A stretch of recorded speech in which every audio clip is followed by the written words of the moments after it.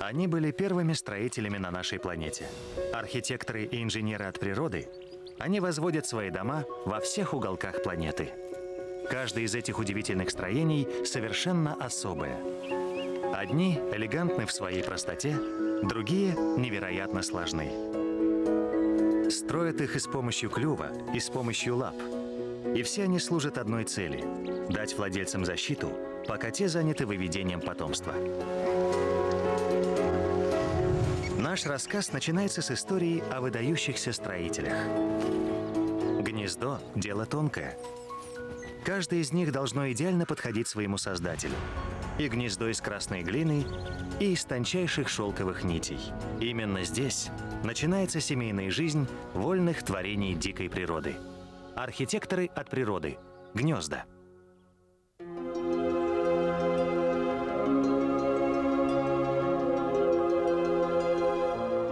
Из самых обычных природных материалов птицы способны сотворить чудо. Изящные круги из травы и веток, корзины, искусно сплетенные из лозы, впечатляющие замки из дерева и глины. Настоящее произведение искусства – они так мастерски выполнены и так красивы, что трудно поверить, что они созданы клювом, а не руками.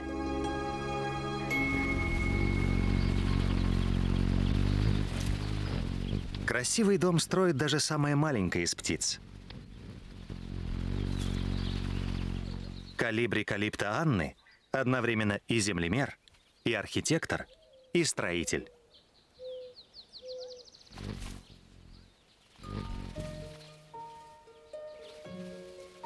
Создание гнезда она начинает с конструирования платформы из мягких пушистых волокон, сорванных с ближайших растений. В качестве подмостков выбрана небольшая ветка. Она станет основой будущего строительства.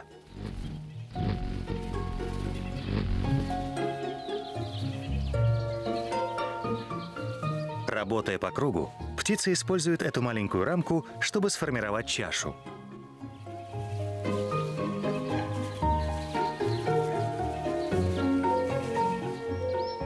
Теперь ей нужна нить, чтобы все это скрепить.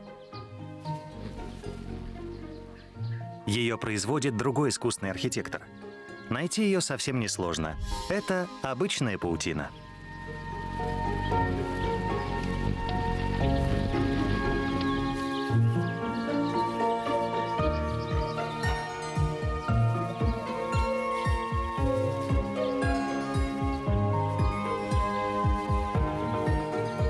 Находясь в центре будущего гнезда, птица наращивает и высоту его стенок, и толщину, утрамбовывая лапками толстые волокна.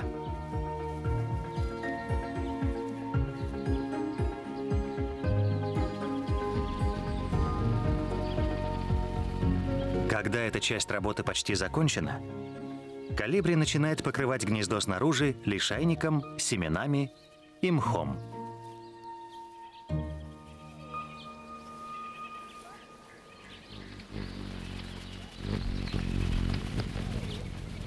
И вот все готово. Готов маленький дом для будущих крошечных птенцов калибри.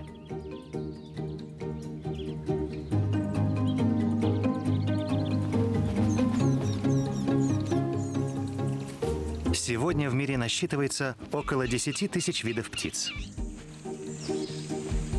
каждое из их гнезд — это колыбель жизни, сделанная на заказ.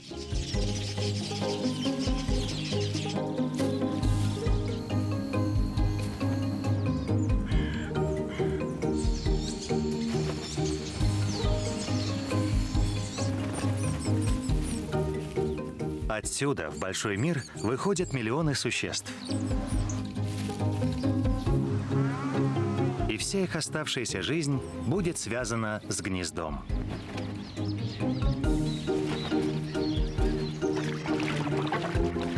Все красочные яркие ухаживания и соперничество.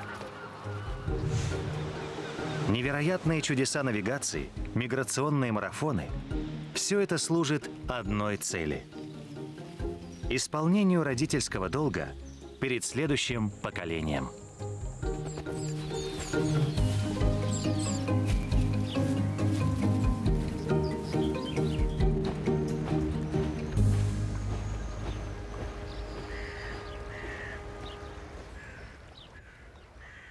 Эта скопа только что вернулась на гнездование домой в уединенную бухту на побережье штата Коннектикут.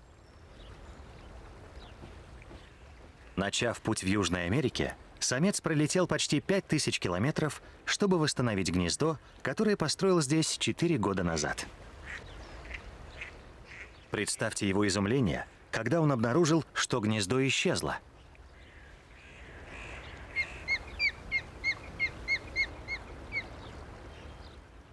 Его гнездо, как и многие другие дома на северо-восточном побережье, разрушила Октябрьская буря. Но эта птица так просто не сдастся. Он решает восстановить гнездо.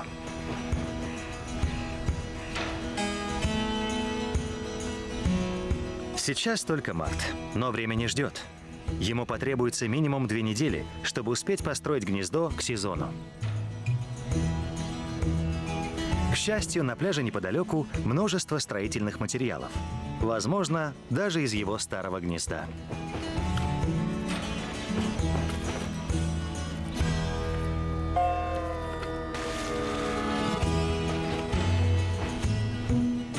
Грязь и морские водоросли выполняют роль строительного раствора. Ему не помешал бы помощник. Он уже несколько лет встречается здесь весной со своей спутницей. Она уже должна была прилететь, но ее все еще нет.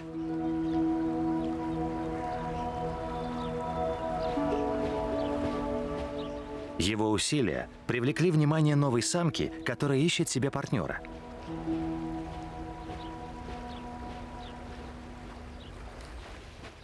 Чтобы произвести на нее впечатление, он поворачивается спиной, низко пригнувшись и сгибая крылья. Она моложе него, но при этом крупнее, как обычно бывает у хищных птиц.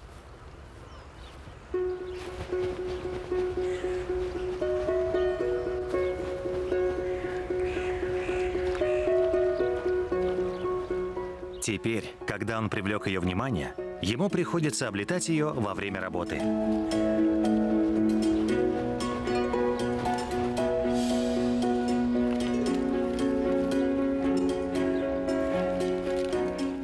Вероятно, это ее первый сезон гнездования, и она понятия не имеет, что делать.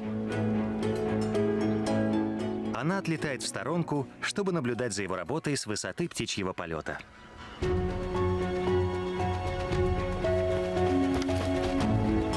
Постепенно гнездо приобретает форму.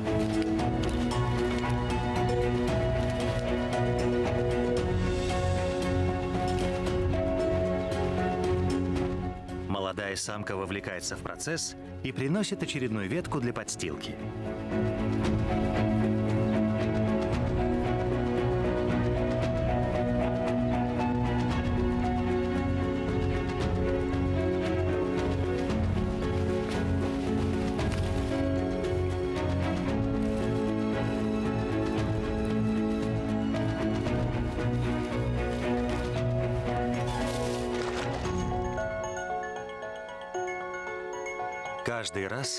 Птицы приносят только по одной ветке.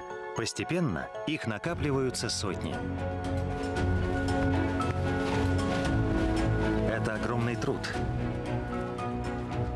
Сам он весит меньше двух килограммов, но гнездо его будет весить больше двухсот.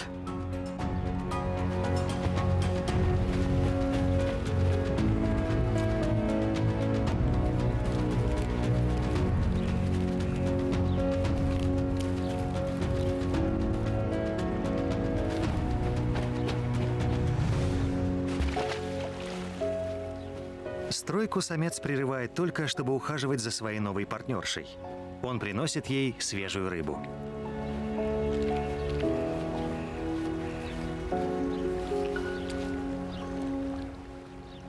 Эти две скопы строят не просто гнездо. Работая вместе и делясь пищей, они создают связь, которая может продлиться годами.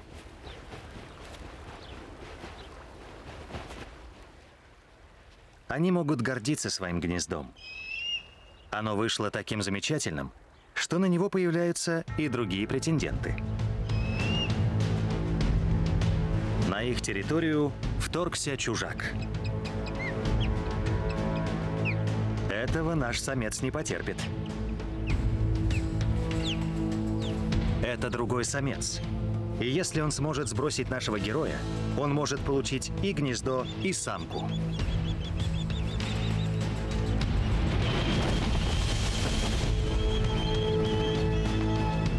Наш самец вступает в бой.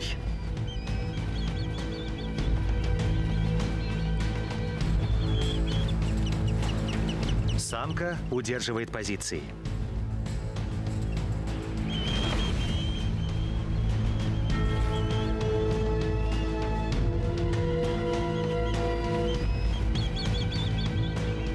Она отражает прямую атаку.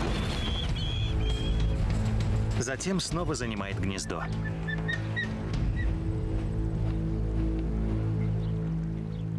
Захватчик изгнан. И наш самец возвращается домой, где его ждет заслуженная награда. Стараясь не поранить самку когтями, он осторожно балансирует на ее спине. Птицы спариваются.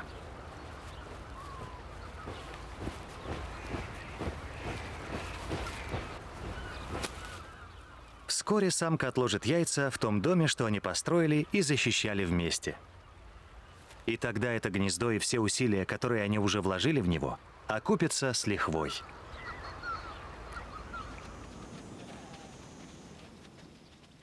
Скопы – плотники. А вот рыжие печники – скульпторы, работающие с грязью и глиной. На заборе пастбища в Уругвае находятся развалины старого гнездового купола.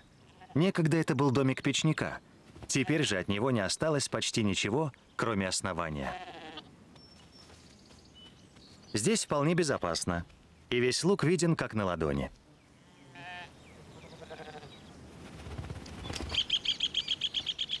Самка взволнованно призывает самца. И он летит на ее зов, чтобы осмотреть имущество.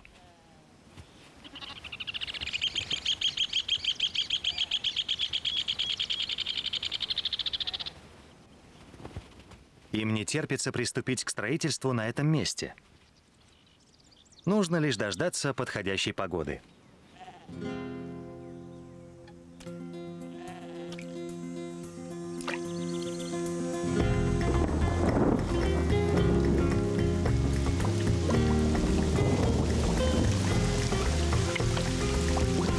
Тем, кто строит из грязи, без дождя не обойтись.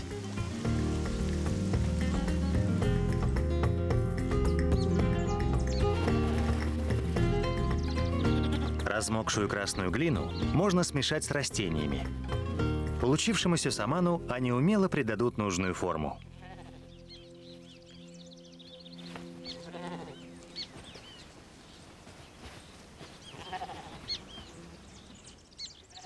Пара приступает к работе. Впереди их ждет больше месяца строительства –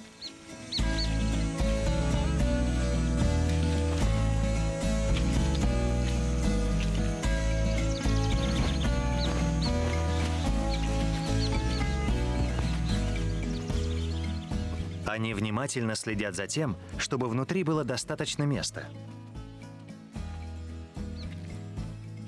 Чтобы там поместилась кладка из двух-четырех яиц и высиживающая их взрослая особь.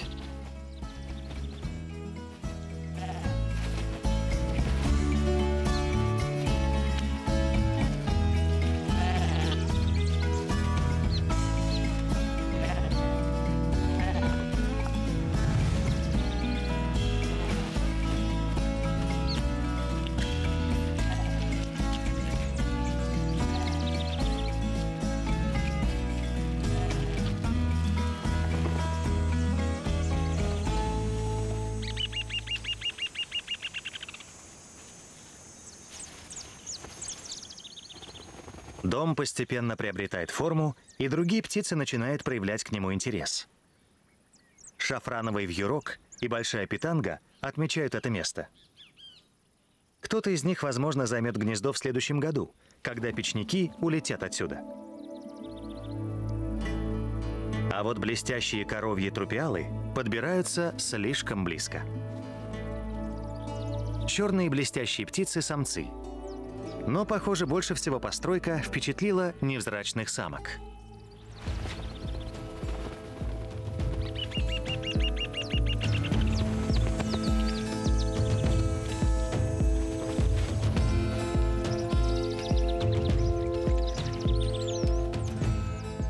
Печникам приходится тратить столько же усилий на защиту дома, сколько потребовалось на его постройку.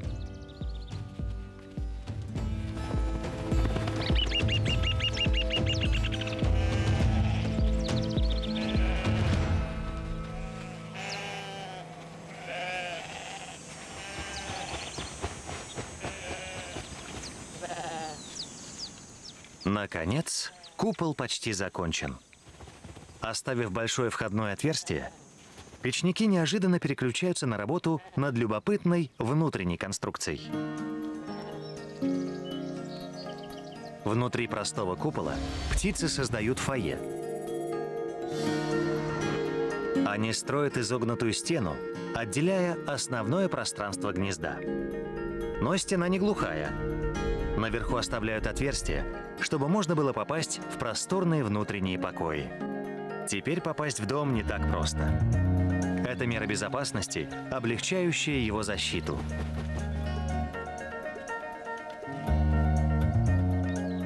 Отверстие очень узкое даже для владельцев –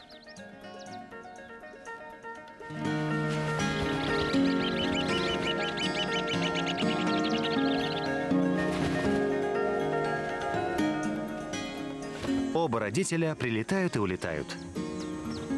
В течение следующих двух недель они будут по очереди высиживать яйца, выполняя все обязанности вместе. Так же, как они это делали с момента начала строительства.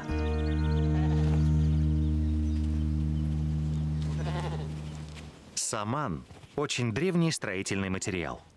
Мы, люди, используем его около 10 тысяч лет – Но представьте себе гораздо более древнюю архитектуру. Строения, которые старше динозавров.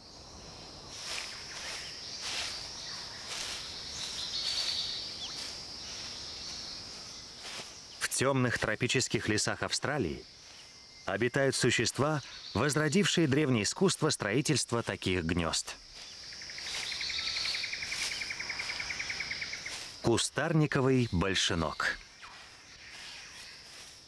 Желтое ожерелье и ярко-красная голова делает его очень заметным. Несмотря на внешнее сходство, он вовсе не близкий родственник индейки. Он представитель совсем другого семейства – большеногов.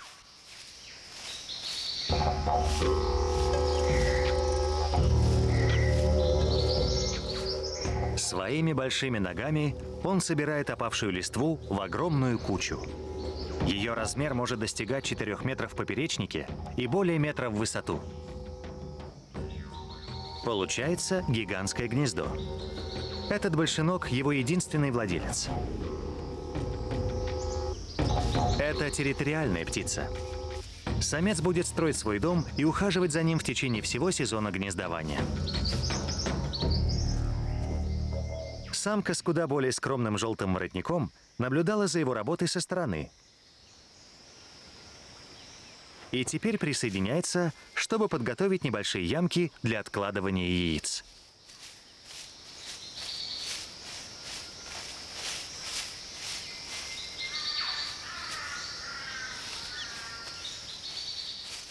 Не все большеноги строят холмы, но кустарниковые специализируются именно на этом. Когда-то в далеком прошлом они отошли от традиции своих предков высиживать яйца, найдя новый источник тепла – когда эта гигантская куча палок и листьев загнивает, она нагревается.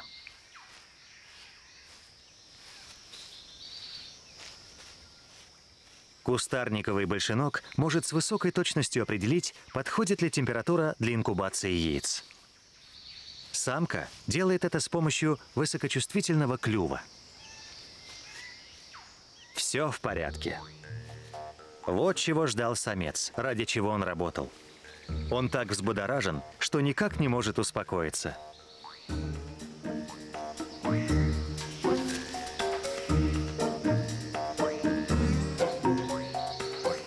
Самка не торопится.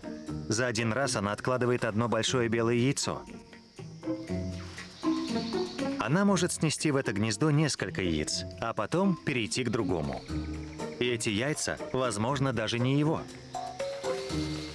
Едва встав, она пытается закопать яйцо поглубже. Но самец настаивает на том, чтобы все сделать самому.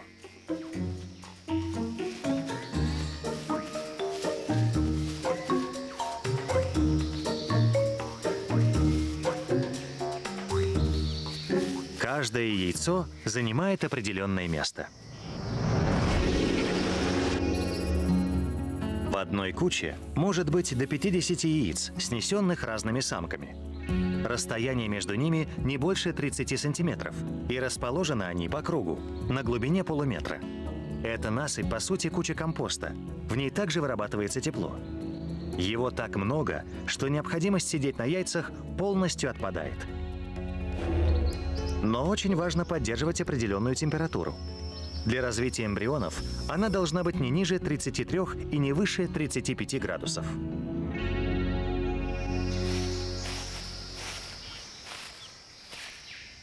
Самец контролирует ситуацию снаружи. Он постоянно проверяет температуру внутри холма, перемещает разлагающиеся растения, чтобы удержать ее на нужном уровне. И лишь примерно через 50 дней в глубине этой кучи из яйца покажется лапка, похожая на лапу древнего динозавра.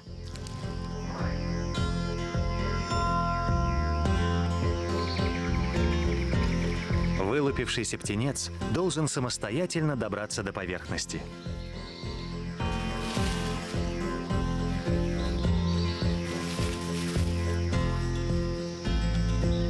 Родители не будут его встречать. На создание инкубационной насыпи у них ушли все силы. И это освободило их от всех дальнейших родительских обязанностей. Один за другим маленькие большеноги отправляются в самостоятельную жизнь.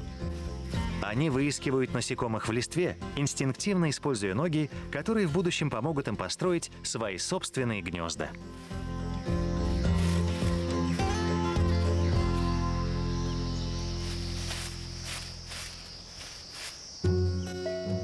Куча из листьев – это прекрасный пример использования энергии из альтернативных источников. Но с точки зрения архитектуры, конструкция, мягко говоря, примитивная – Совсем другое дело – искусно созданные конструкции тех птиц, которые плетут свои гнезда.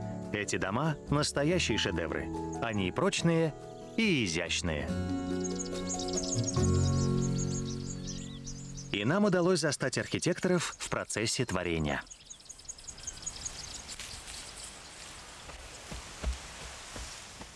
В южноафриканских болотах, в зарослях тростника и камыша – огненные бархатные ткачи проходят через все трудности брачного периода.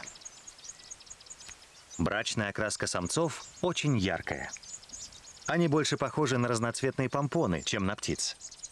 Они могут не только красоваться. Чтобы произвести впечатление на потенциальных партнеров, они строят гнезда.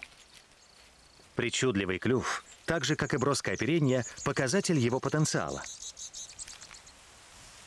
он специализируется на работе с тонкими нитями травы и других растений.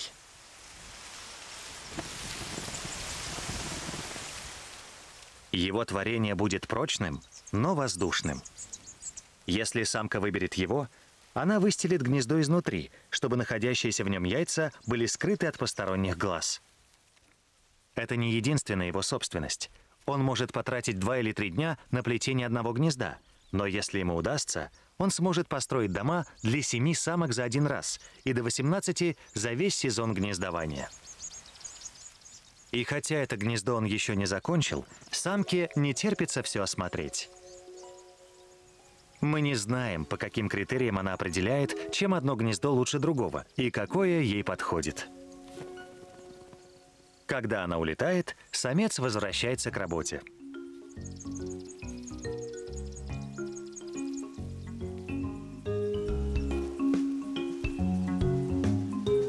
Закончив строительство, он начинает своеобразную рекламную кампанию. Возможно, та интересовавшаяся самка вернется и сделает этот пустой домик своим.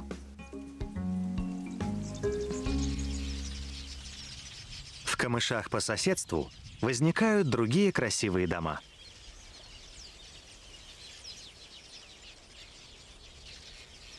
Это работа его родственника, чернолобого ткача –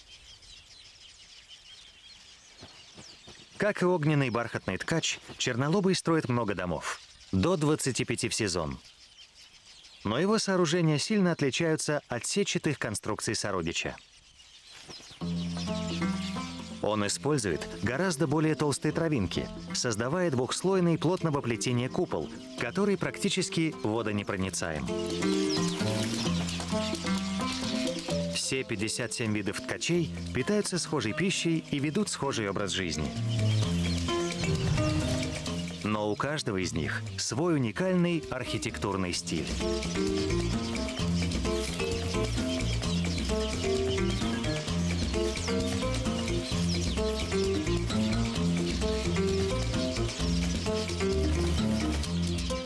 К счастью, на болотах нет недостатка в ткацком материале. И с сентября по январь здесь можно увидеть множество строящихся жилищных объектов.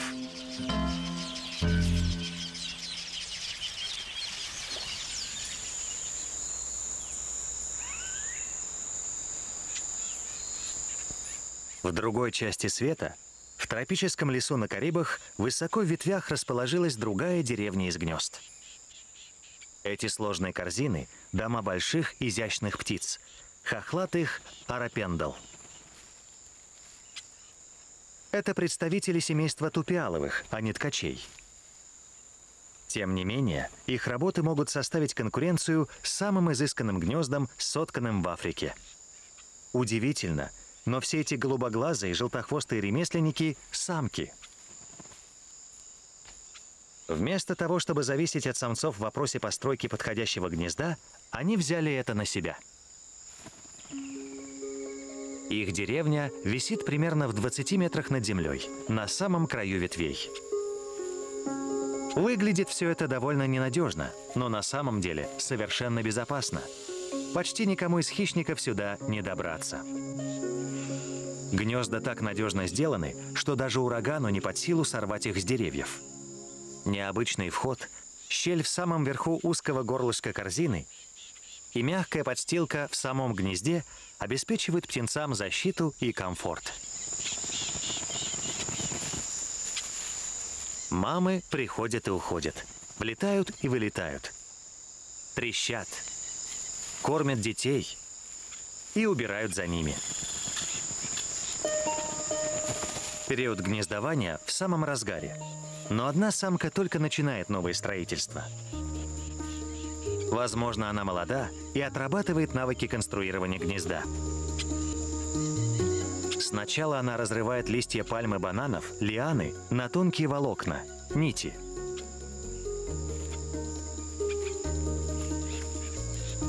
Затем она обвивает их вокруг выбранной ветки, создавая таким образом основу для будущего плетения. Самец арапендала наблюдает за ее работой. Самцы немного крупнее самок. И они не строят гнезда вообще.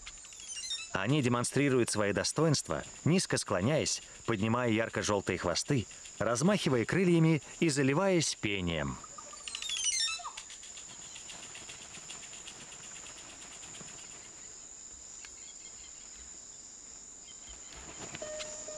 Но молодая самка не отвлекается – Теперь она работает как снаружи, так и внутри постройки, создавая вокруг себя расширяющуюся чашу. По мере того, как свет начинает меркнуть, самцы собираются вместе, устраиваясь на ночлег. А молодая самка продолжает плести, оттачивая мастерство до поздней ночи.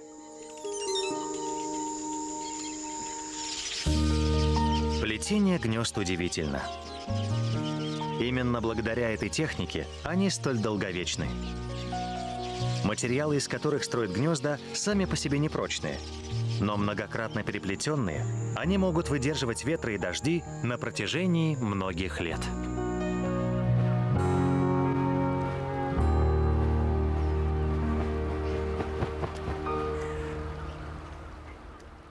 Конец мая. Бухта, где живут скопы.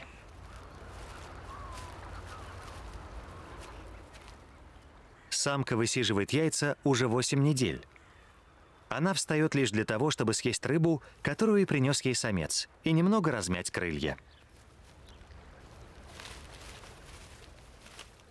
Спрятав когти, она аккуратно переворачивает яйца и продолжает свое дежурство.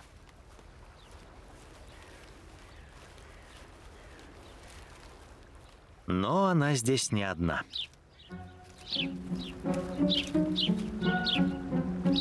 Гнездо обнаружили домовые воробьи. Они въехали сюда, построив свое собственное небольшое гнездо в глубине башни из веток. Дом, некогда уединенный, теперь превратился во многоквартирный комплекс. Теперь здесь ни на минуту не смолкает щебетание соседей, которые без остановки снуют туда-сюда. Скопа не обращает на них внимания. Только что вылупился ее первый птенец. Он еще совсем крошечный, а уже выпрашивает еду.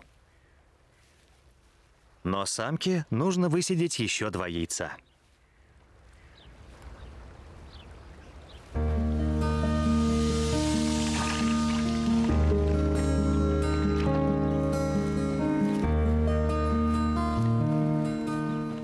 Через день, когда самец приносит добычу, еду просят уже два птенца.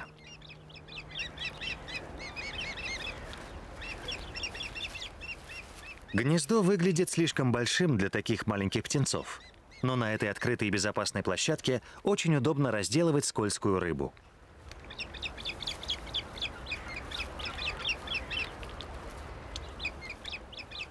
Аккуратно и неспешно Молодая мать кормит детей маленькими кусочками рыбы. Она старательно выбирает кусочки без костей. Это ее часть работы, а самец отвечает за ловлю рыбы.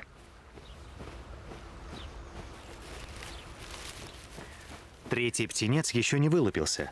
Самка укутывает и яйцо, и птенцов теплом своего оперения – Скопы предпочитают открытые пространства, чтобы можно было увидеть любую приближающуюся опасность. Защитой и укрытием для новорожденных служит тело матери –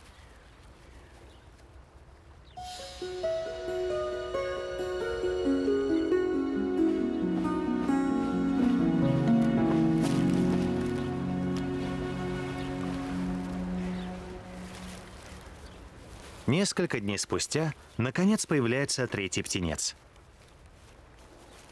Но, кажется, он не совсем здоров. Он не реагирует, даже когда в гнездо заглядывает самец.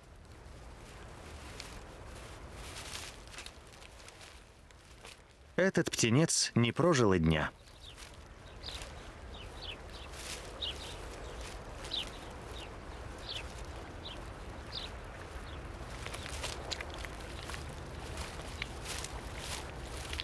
Все, что родители могут сделать теперь, это посвятить себя заботе о выживших птенцах.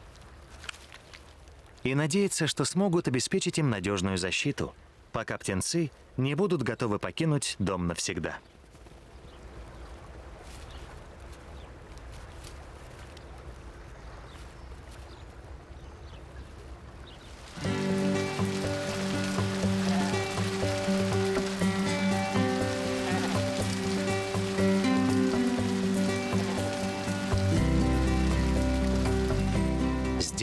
Из самана дом печников был построен как надежное укрепление.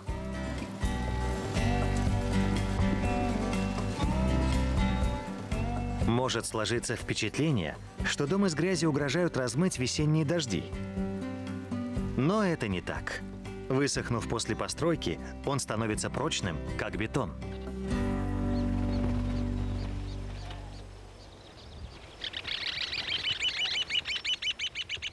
Погода становится лучше. Печники утрачивают бдительность, и оба отправляются пировать. После ливня особенно много насекомых и беспозвоночных. Это шанс, которого ждали трупиалы. Несмотря на все усилия печников прогнать их, они всегда находились поблизости, словно темная грозовая туча.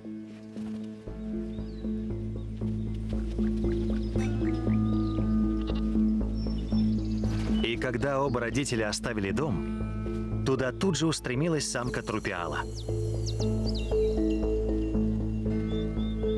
Это не то, что первым приходит на ум. Она не охотится за яйцами.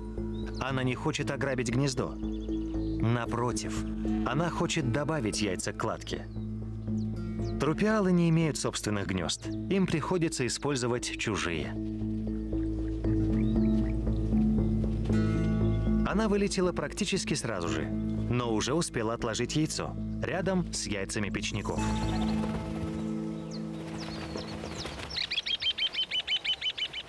По ее плану, прилежная пара должна растить ее птенца в своем уютном доме, усердно трудясь, пока он не оперится. Эта стратегия трупиалов срабатывает часто, но не всегда.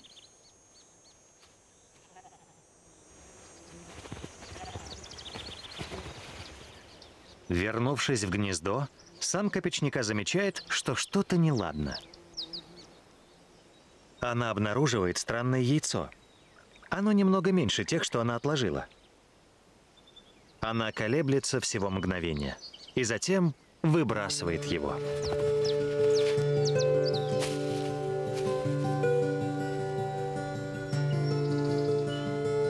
Попытка незаконного проникновения в жилище пресечена. Гнездо печников в безопасности.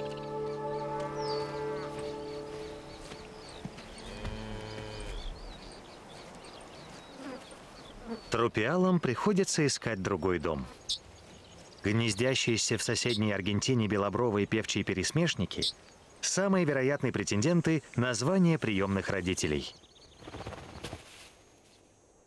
Их крепкие гнезда из туго сплетенных ветвей укрыты в колючем кустарнике, растущем на широких лугах. Самка может откладывать до четырех пестрых яиц, по одному в день. Она будет высиживать их на протяжении двух недель, прерываясь ненадолго на поиски пищи. Если место для гнезда выбрано удачно, у родителей больше времени для кормления. Но трупиалы внимательно следят за их перемещениями. Гнездо пересмешника – идеальное место, чтобы подложить свои яйца. Если, конечно, удастся проскользнуть мимо бдительных домовладельцев –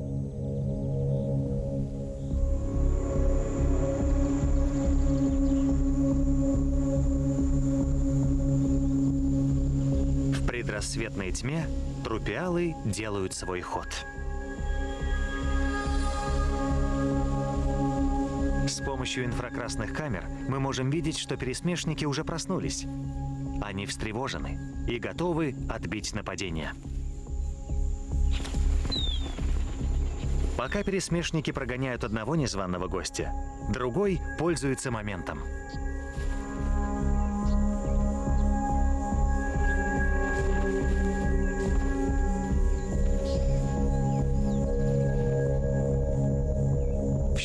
считанные секунды трупиал пробирается внутрь и откладывает маленькое круглое яйцо рядом с большим овальным яйцом пересмешника.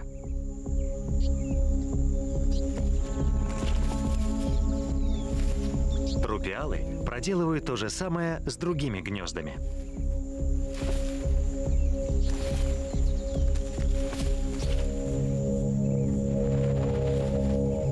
Самка пересмешника опоздала всего на несколько секунд. Она колеблется мгновение, затем переворачивает яйцо, как будто это ее собственное.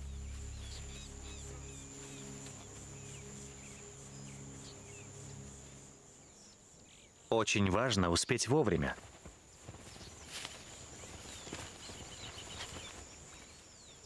Если самку трупиала поймают, ей не поздоровится. Пересмешник придет в ярость.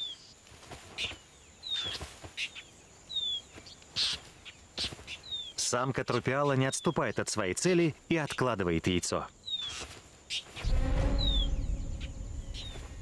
Но, ставшая свидетельницей преступления, самка пересмешника не будет с этим мириться. И она незамедлительно избавляется от чужого яйца. И так до самого рассвета без конца. Трупиалы пробираются в гнезда, пересмешники возмущаются.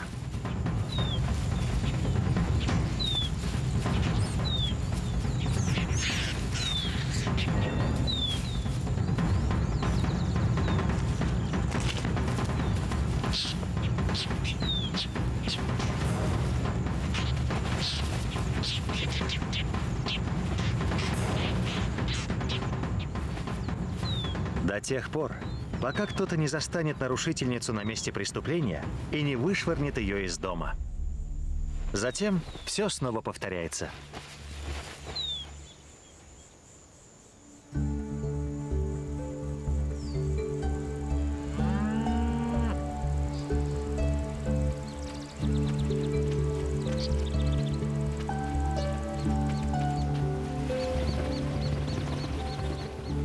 Светает. Пересмешники обосновываются на яйцах, согревают их и переворачивают.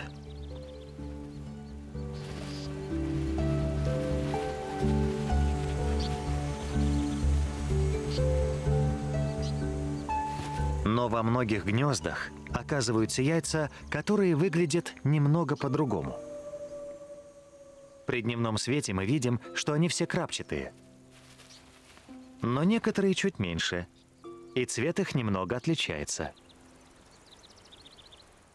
Именно из этих яиц вылупляются первые птенцы.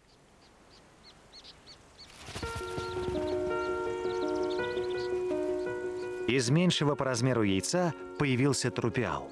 Он получит преимущество перед другими птенцами.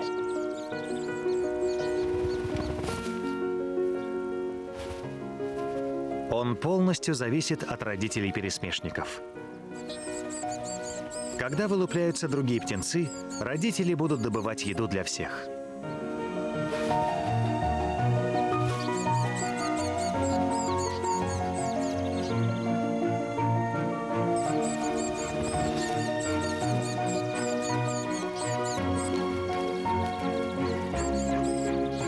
Широко раскрытые розовые клювы – это трупиалы. Желтые – маленькие пересмешники.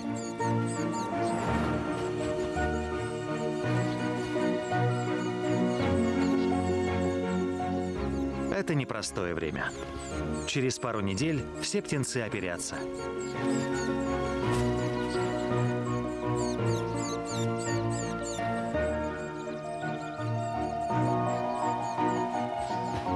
Терновых зарослях пересмешники упорно трудятся, чтобы накормить голодные рты. Но из-за этого многие птенцы остаются одни, пока не вернутся родители.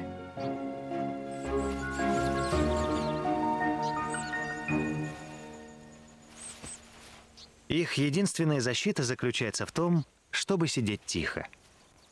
Но иногда гнезда, предназначенные для обеспечения безопасности, могут стать смертельной ловушкой.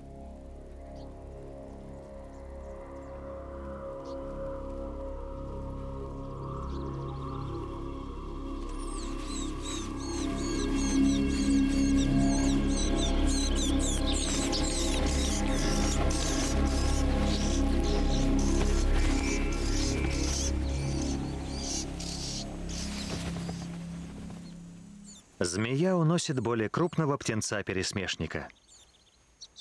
оставляя родителям только перепуганного трупиала.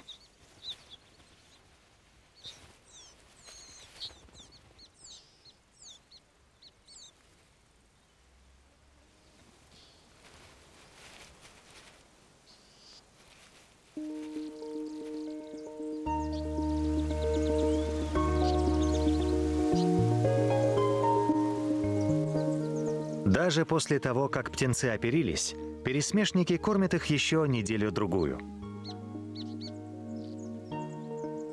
Пересмешники и маленькие трупиалы сидят вместе на ветках терновника, не замечая, как странно выглядит их семья.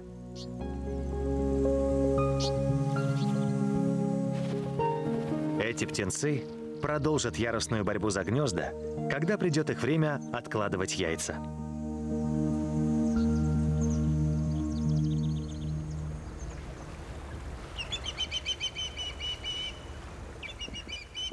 Этом году в гнезде скопы появилось два здоровых птенца.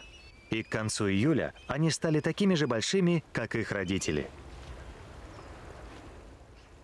Но их ярко-оранжевые глаза еще не поменяли цвет на желтый, как у взрослых птиц.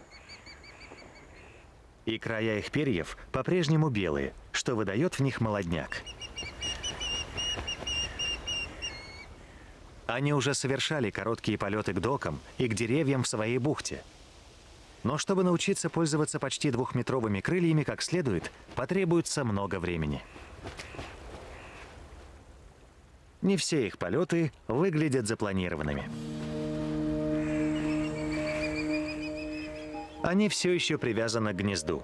Пищат, как малыши, ждут, чтобы отец принес им рыбу. Как всегда, он отвечает на их призыв. Пройдет еще целый месяц, прежде чем они научатся обеспечивать себя сами, и поэтому молодым птицам по-прежнему необходимо гнездо.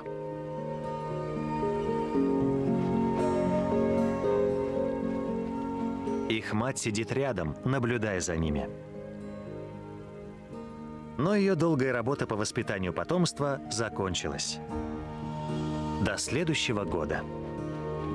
Теперь молодняку нужно нарастить мускулы, чтобы управлять своими могучими крыльями. Пройдет еще несколько недель, и они, наконец, навсегда покинут единственный дом, который у них был.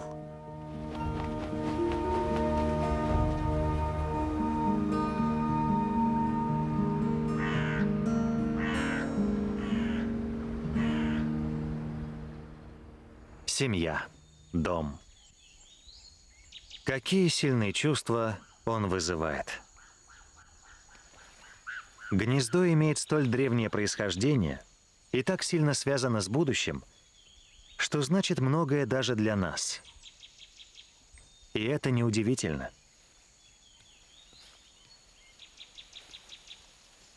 В глубоком прошлом наши предки тоже жили на деревьях – Как и многие птицы, там они находили пищу. Возможно, когда созревал инжир, наши предки перебирались с дерева на дерево в поисках плодов. Именно здесь они впервые начали строить.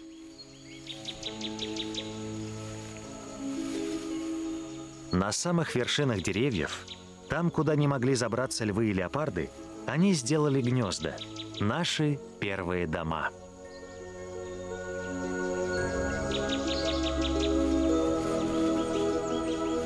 Возможно, это было лишь пристанище на ночь. Удобный гамак, подвешенный в безопасном месте.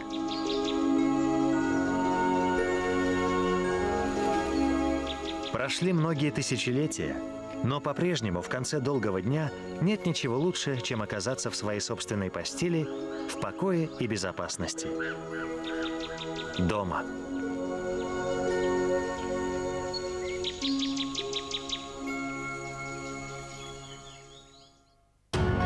Режиссер и продюсер Энн Джонсон Прум. Автор сценария Джанет Хесс. Операторы Майкл Мейл, Марк Кэрролл, Дэвид Парер, Энн Джонсон Прум, Джейкоб Стенберг. Композиторы Крис Бионда и Ленни Уильямс. Фильм озвучен студией «Сведубль» по заказу ГТРК «Культура».